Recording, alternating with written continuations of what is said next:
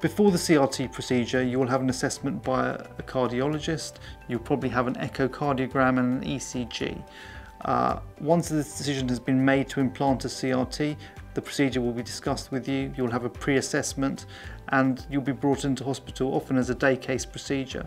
The procedure takes between an hour to two and a half, three hours depending on your anatomy. Um, you may stay in hospital overnight, but the recovery procedure, the recovery period afterwards is fairly quick. CRT is a very safe, straightforward procedure in most cases. There's a small risk of complications which include a risk of infection, a risk of uh, scratching the surface of the lung, a small risk of the leads moving when they go in, and a small risk of bleeding and bruising around the heart.